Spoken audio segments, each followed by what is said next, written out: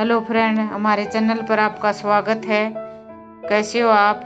आज आपने गजरा के बारे में गजरा के वो परामठे बनाना बताऊँगी। ये देखो, गाजर उगी हुई थी, ऊपर ऊपर का गजरा इस तरह से काट लूँगी। ये मैंने काट लिया। बहुत स्वादिष्ट और मस्त परामठे बनेंगे। ये डंठल काट के मैंने इसका पीछे पीछे का गजरा तैयार कर लिया। दो के साफ़ सुथरा कर लिया।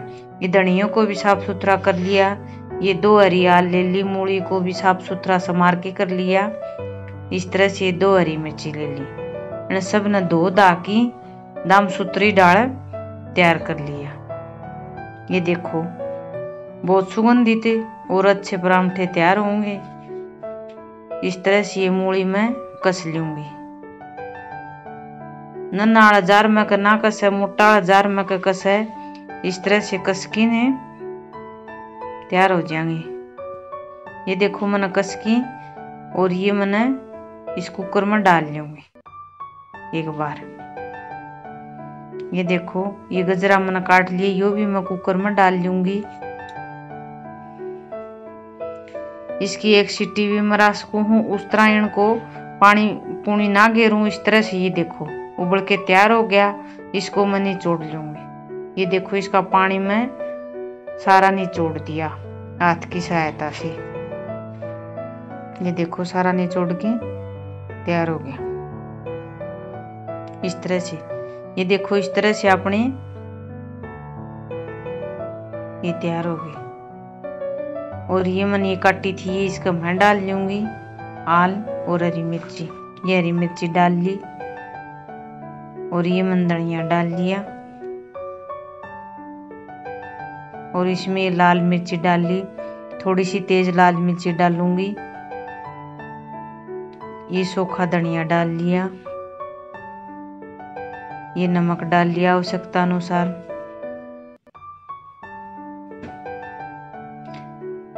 ये थोड़ा हा अमचूर पाउडर डाल लिया, इससे थोड़ा हा स्वाद अच्छा आएगा। ये मैंने आटा गूथ लिया। थोड़ा हा नरम नरम आटा गूथया है।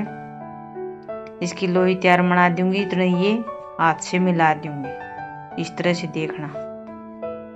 इसके अंदर डाल के इस तरह से इनको लपेट लूँगी। ये देखो। अड़कड़ का हाथ इन्हें बेल लूँगी। ज़्यादा दबाव डालोगे तो ये साइड में निकल जाएगा। तो अड़कड़ का हाथ से इस तरह से ये अपने परांठे तैयार हो जाएँगे घी डाल दूँगी।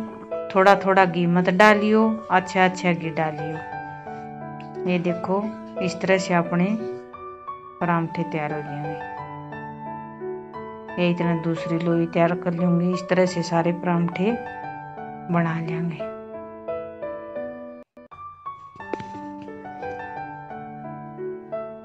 आप भी बना लेना। करारे करारे और अच्छे स्वादिष्ट सुगंध वाले परांठे बनेंगे और आपको ये पसंद आए हो, आप पहली बार मेरे चैनल पे आए हो तो प्लीज़ आप सब्सक्राइब करना, लाइक करना, शेयर करना, कमेंट करके ज़रूर बताना हमारे परांठे कैसे बने और आप एक बार बना के भी देखना।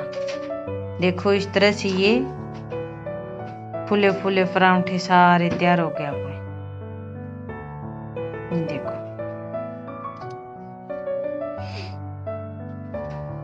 घी थोड़ा हा अच्छा डालियो उससे थोड़ा हा करारे और अच्छे बनेंगे ये देखो, इस तरह से। देखो, मैं चकड़े पर नहीं बेल रही, प्रात में बेलू हूँ, आप चकड़े पर भी बेल सको। इस तरह से अच्छे अच्छा घी डाल के आप